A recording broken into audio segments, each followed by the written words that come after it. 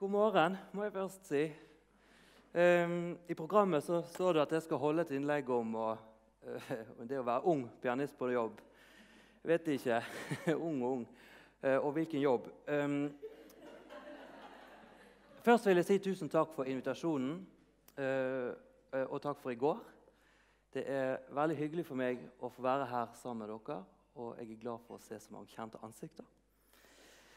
Um, vi vet alle uh, som er her, at det å være pianist det er ikke én jobb. Det er mange jobber. Både i arbeidsoppgaver og i innhold. En pianist må være musiker, selvfølgelig. Men en pianist er også en forsker, en poet, en filosof, en historiker, en arkitekt, psykolog og selv litt sinnssyk, vil jeg påstå. Jeg skal forsøke å si noe om hvordan jeg har kommet til å ha denne jobben, og hvordan min arbeidshverdag ser ut. Jeg vil hevde at jeg er et godt eksempel på en som har blitt pianist mot alle odds. Da jeg begynte å spille piano som femåring, så hadde jeg ingen musikalske eller taktile ferdigheter. Og hva angikk min første pianolærer, så var det egentlig tilfellet også for henne. Um, ingen av oss kunne noen ting. Um, I de viktige barneårene gikk jeg til pianotime hver eneste uke uten å lære noe som helst om å spille piano. Og det virkelig komiske er at da jeg hadde gått hos denne læreren i fem år, så kommer hun til meg og sier 'Nå har jeg ikke noe mer å lære deg'. Dette hullet har jeg eh, måttet slave over i alle år etter det. Um, det var likevel, sånn som jeg ser det i dag, den viktigste og lykkeligste tiden min i hele min musikalske oppvekst. Nettopp fordi at min første lærer lærte meg å elske musikk og å forbinde det å sitte og spille med noe fantastisk gledelig. Og det er jeg takknemlig for. Og det er tross alt grunnsteinen i vårt felt. Men eh, kjærligheten uten evne er amatørens domene. Og min kjærlighet og iver eh, har gitt meg arbeidslysten til å jobbe beinhardt og kompromissløst med å gi meg sjøl den tekniske, jeg skulle nesten si mekaniske, eh, friheten til å spille uforstyrret av kroppen min. Dette arbeidet har, Jeg hadde lyst til å si at arbeidet tar 15 år å fullføre, men jeg vil heller si det tar 15 år å begynne på. um, og Av natur så er jeg grenseløst utålmodig, udisiplinert og impulsiv. En stor del av denne prosessen har vært å prøve å gjøre disse egenskapene til mine styrker. Da jeg så eh, ble tenåring, så hadde jeg to lærere. Den ene Signe Bakke her i Bergen, og den andre Jiri Linka fra Bergen, men i Oslo. Disse ga meg mitt faglige fundament. Kort sagt, uten Signe ville jeg aldri vært pianist, og uten Jiri ville jeg aldri vært kunstner. Jeg var en dedikert, men veldig udisiplinert elev. Da jeg skulle begynne på videregående, så ble det diskutert om hvorvidt jeg skulle fortsette på skolen eller ikke. Mange av mine musikalske venner sluttet, og det hadde selvfølgelig jeg òg lyst til. Å dedikere meg helt til musikken med en gang. Sånn ble det ikke, og jeg var dritsur for det den gangen. I ettertid mener jeg at det også var den riktige avgjørelsen. Ikke pga. pensum eller på grunn av studiekompetanse, men fordi det har gitt meg mange venner med forskjellige interesser og forskjellige personligheter. Musikken, kunsten i seg selv, er et uttrykk for selve livet. Det speiler oss. Hvilket betyr at man må som ungdommene sier, ha et liv. Man må bevisst og til stadighet oppmuntre de unge kunstnerne til å leve livet i sin helhet. Til å pleie sine relasjoner, til å lese, til å være aktiv, til å oppleve naturen, oppleve andre kulturer, til å gå på kino, til å gå i teater. Og til å gå på skolen. Også til å øve, selvfølgelig. For det gir deg noe å øve på. Store deler av min utdannelse har jeg tatt på Musikkhøgskolen i Oslo. Med ett år i Wien og to år i København i tillegg. Jeg vil trekke frem året mitt i Wien uh, som utvekslingselev som veldig viktig. Uh, utelukkende fordi at det å bo i en by der det feltet jeg sjøl elsket, syntes å ha så stor betydning for så mange mennesker. Det er en veldig god følelse og en viktig følelse. Selv om jeg har hatt uh, andre lærere underveis i denne tiden, så er det Håvard som har vært min hovedlærer i hele min studietid. Det er jeg selvfølgelig veldig takknemlig for.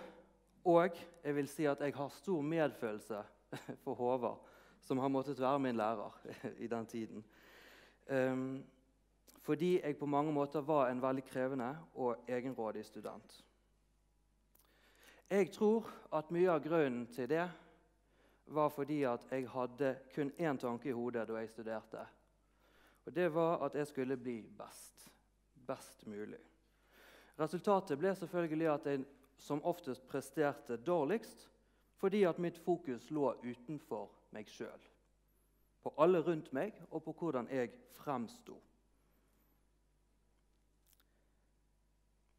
I dag så tenker jeg på dette ønsket om å bli best som et uttrykk for en dyp usikkerhet og en utrygghet som jeg var for umoden til å se og til å forstå på den tiden. Jeg hadde en god støttespiller, en god lærer og en god samtalepartner i Håvard. Og andre som ønsket det beste for meg. Jeg gikk også i en klasse med et veldig sterkt samhold. Men her kommer et av de viktigste poengene jeg kan oppmuntre til i dag. Og Det er å oppmuntre de unge til å være de ærligste musikerne, ikke de beste. Vi skal oppmuntre til kunnskap, vi skal oppmuntre til håndverk kvalitet. Men da også menneskelig kvalitet. For meg handler ærligheten om evnen til å lytte, både innover og utover. De fleste hører, men de færreste lytter. Og jeg mener at det er med stor omsorg og empati for seg selv og for andre at man kan blomstre kunstnerisk. På denne måten kan jobben som pianist også gjøre oss til bedre medmennesker også. Men nå kommer vi til poenget. Når jeg da hadde fullført talentprogram og bachelor, master, diplom, det var da problemene virkelig begynte. Fordi jeg hadde hele denne bakgrunnen, og så står jeg der og sier Hvor går jeg nå? Jeg har en ryggsekk full av musikk. Full av kunnskap og papirer, gamle bragder og ingen engasjementer. Da opplevde jeg å være heldig og rett og slett ha litt flaks. Et eh, felt som vi sjelden eh, tør å snakke så mye om, men da hadde jeg litt flaks. For da fikk jeg kunstnerstipendet i to år. Og det er jeg veldig takknemlig for. Fordi det ga meg den økonomiske friheten og tryggheten til å erkjenne følgende Det er ingen som sitter og venter på at Christian Grøvlen skal komme og spille Beethoven for dem. I møte med frilanserens sorte hull nytter det ikke med affirmasjoner og resultatmål. Det er da man må være kunstner. Og Denne følelsen var heldigvis også med i ryggsekken min. Jeg sa til meg sjøl at den eneste måten jeg kan forholde meg til denne erkjennelsen på, er å gi meg sjøl viktigere oppgaver enn å beholde denne barnlige tanken om å bli best når det gjelder. eller liksom. Jeg ville gi meg sjøl et livsprosjekt. Heldigvis så trengte jeg ikke finne på det, for det hadde jeg holdt på med i over 20 år. Men det var måten å se på mitt virke på som trengte en justering.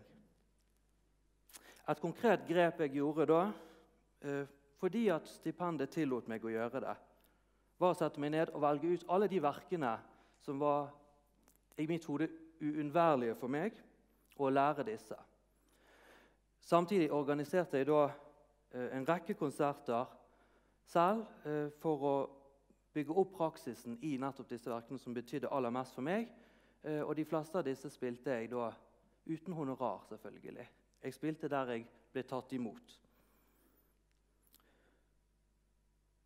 Men det viktigste som jeg gjorde i møte med dette sorte hullet, det var å slutte å tenke på endelig, slutte å tenke på hvor jeg skulle, og begynte å konsentrere meg om hvor jeg var, og veien jeg gikk på. Nå er ikke jeg så glad i å tenke tilbake og si 'hva hvis', og hvis jeg hadde gjort sånn. Jeg tror ikke på det. Men hvis jeg kunne gå tilbake og gi meg sjøl et råd, så ville jeg si til meg sjøl Kristian, glem fortiden, glem fremtiden. Og latt meg sjøl tygge litt på den. Jeg er blitt spurt om å si noe om hva som kreves av en ung pianist på jobb. Alle dere kunne si hva som kreves av en pianist på jobb. Um, og Jeg skal forsøke å gi mine egne svar på det. Um, ved siden av å bringe det mest sannferdige helhet, uh, dypt gjennomarbeidede spill man kan, må man være hyggelig, vennlig, tålmodig, lyttende, presis både i tale og i tid engasjert, ydmyk uten å være selvutslettende. Man må være innstilt på å gjøre alt man vil sjøl.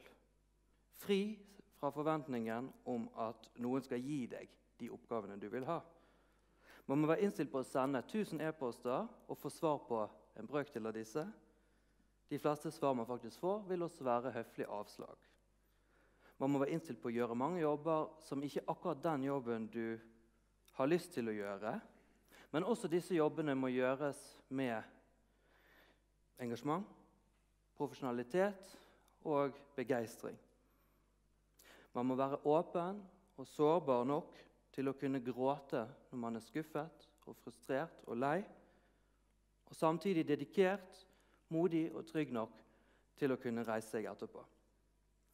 Jobben krever en evne til å stadig fornye sitt arbeid den krever en forskers utslukkelige nysgjerrighet, en polfarers eventyrlyst og mest av alt en åndelig tørst. Man må også være i stand til å hvile, å stoppe opp og til å være i stillhet. Enten hjemme eller ute. Min erfaring er at stillheten er kunstnerens beste venn når man blir kjempen. For meg er dette den praktiske essensen av min arbeidshverdag. Så hvordan ser en vanlig arbeidsdag ut for meg? Det er enkelt. Jeg står opp om morgenen, helst før klokken seks, for jeg er et veldig A-menneske. Jeg går til kjøkkenet vårt, for vi bor i en veldig liten leilighet, for der står flygelet. og så setter jeg meg i stolen i andre enden av det rommet med en kaffe, og så skrur jeg på hjernen min. Store deler av min arbeidshverdag og min øving foregår i den stolen, ikke ved klaveret. Når jeg tenker tilbake på tiden som student når jeg praktisk talt løp til Musikkhøgskolen for å øve, så synes det absurd for meg i dag. Årsaken er at spillegleden min er ofte min verste fiende i arbeidsøyeblikket. Fordi jeg kan spille og spille og spille full av lyst og begeistring uten å egentlig øve i det hele tatt. Jeg tror mange kan kjenne seg igjen i det. Jeg bruker mangfoldige timer i stolen min med verker før jeg setter meg til klaveret. Ofte har jeg praktisk talt lært verkene før jeg setter meg ned og spiller dem.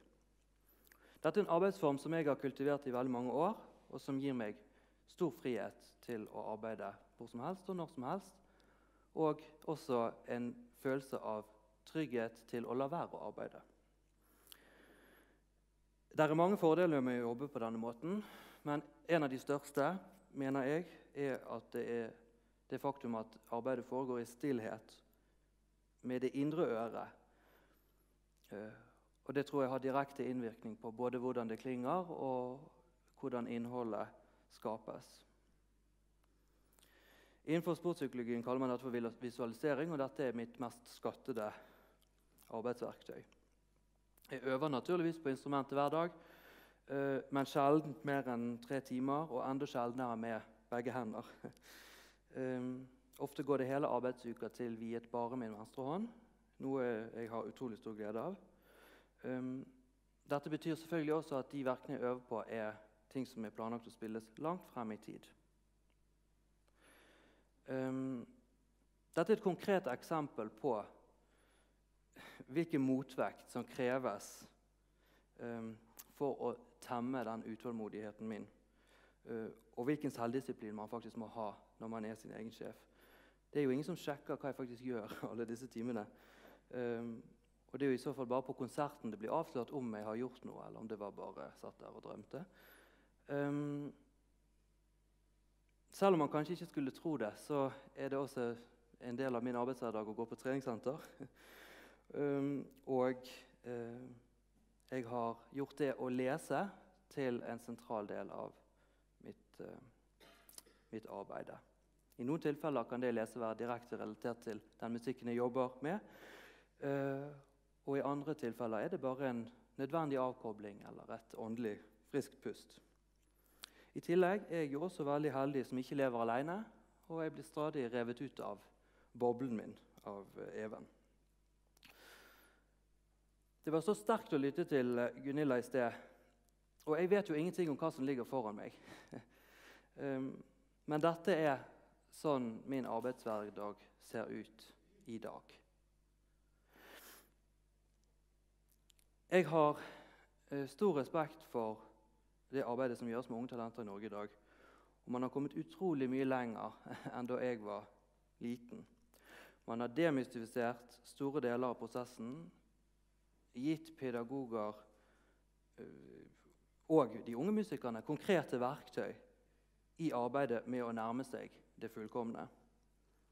Man har sett til idretten for å forklare for omverdenen og for seg selv hvor krevende denne jobben er. Og lært av de i arbeidet med unge, veldig talentfulle mennesker. Dette er selvfølgelig store fremskritt. Samtidig vil jeg komme med en veldig sterk oppfordring til alle her. La musikken forbli en kunstform. Ikke gjør den om til en idrett. La talentene være kunstnere mer enn atleter. De av dere, mange av dere som er her i dag, er pedagoger. Dere er inspiratorer, håndverkere, kunstnere, ikke trenere. Det er lett for å tenke seg at å arbeide med noe så komplekst og krevende som musikk er som å bestige et Everest, og man sliter seg opp, og til slutt står man på toppen og ser utover. Jeg opplever det som en gal forståelse av vårt felt, av jobben som pianist, uavhengig av sjanger eller sted eller repertoar eller hva det er. For meg er min jobb mer som å seile stillferdig på en langstrakt elv. Dag etter dag, uke etter uke, i måneder og år seiler man på denne elven. Inntil man en dag, ganske plutselig, vil jeg tro, når havet. Takk for oppmerksomheten.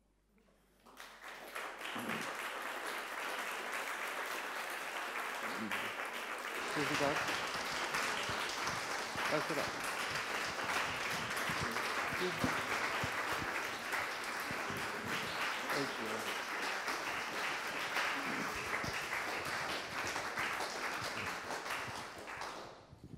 Tusen takk, Kristian. Vi eh, har også her tid til litt spørsmål og kommentarer. Så nå er dere begynt å bli varme i trøya både fra i går og i sted. Her har vi en allerede. Så utrolig fint å høre på deg, Kristian. Så uh, altså, de unge er veldig modne i dag, syns jeg. Jeg er ikke ung, men, det er det som er Men det, det, det, som er så fantastisk, når du snakker sånn, så får man bare så utrolig lyst til å høre deg spille.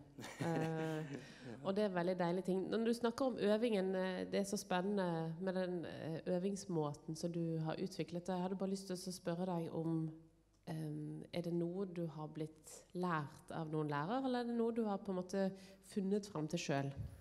Jeg har jo oppsøkt mange kilder som forteller om den prosessen. Men det er jo en, det er ikke noen som har fortalt meg at det er sånn vi skal gjøre det. Det er en måte jeg sjøl har arbeidet frem som den beste for meg. Nettopp fordi at det, er, det blir på en måte en rus, det der å sitte og spille. Og den er god, men jeg prøver å da spare den til når jeg faktisk skal spille. Uh, og da er det en form for avrusning i det verste. Det er jo veldig frustrerende, frustrerende når jeg ikke kan spille. Men for min måte og for min, hele min person, det er så sammensatt at det ikke bare er kroppen, men det er hele meg, så er det mer konstruktivt å sette noen begrensninger enn en å ikke gjøre det. Og den, ja, så sånn, Det er noe jeg har på mange måter funnet frem til sjøl. Ja. Jeg svarer gjerne på spørsmål hvis dere lurer på noe. Flere?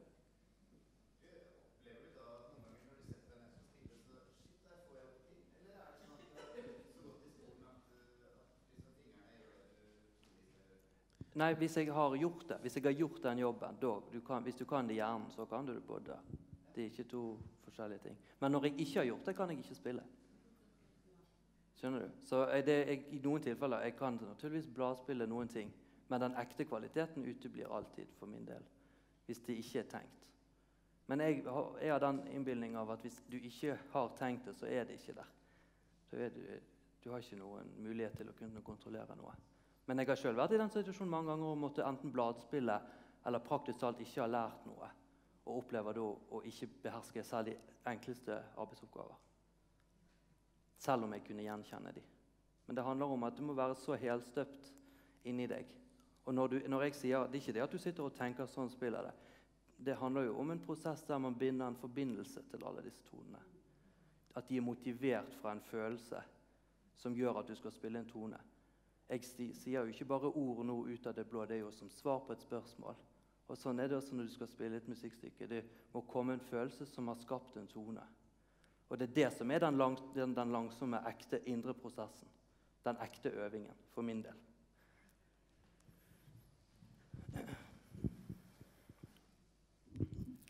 Det høres ut som du har uh, funnet fram til et bærekraftig konsept. Eh, som kanskje kan vare livet ut. Uh, du snakket om trening. Hva betyr fysisk trening? Bygger du muskler som du er avhengig av i spillingen, eller er det for å være en flott mann på scenen? det, er, det, er, ingen av delene. Det er rett og slett for å ikke få hjerteinfarkt når jeg spiller. For jeg blir veldig begeistret og full.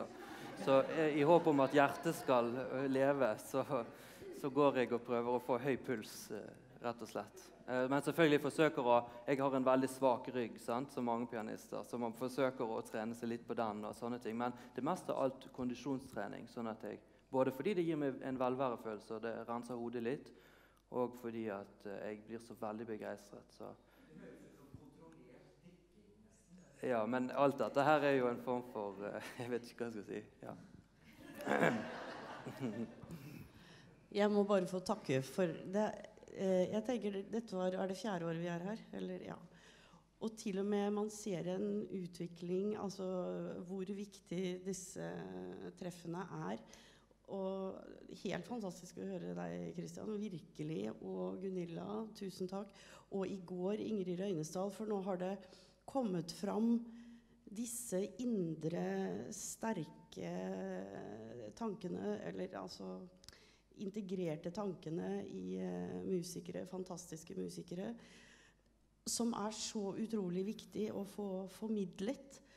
Og um, Ingrid sa i går for første gang ordet 'kjærlighet'. Og det tenker jeg altså, Det handler om at man Det er jo det det handler om. altså Kjærligheten til musikken, kjærligheten til å være hvem man er, kjærligheten til å kunne formidle. Og dette synes jeg Nå har ikke jeg tenkt gjennom dette, men det har blitt så fantastisk formidlet eh, fra Ingrid Gaard, Gunilla og, og også alle de andre viktige elementene som er styrken og håndverket. Men at dette nå kommer enda mer tydeligere opp, syns jeg også er, betyr at det er en enorm utvikling som skjer nå på bevisstheten. Så tusen takk. Hjertelig takk.